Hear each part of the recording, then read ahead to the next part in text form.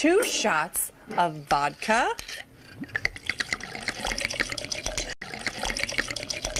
A few moments later.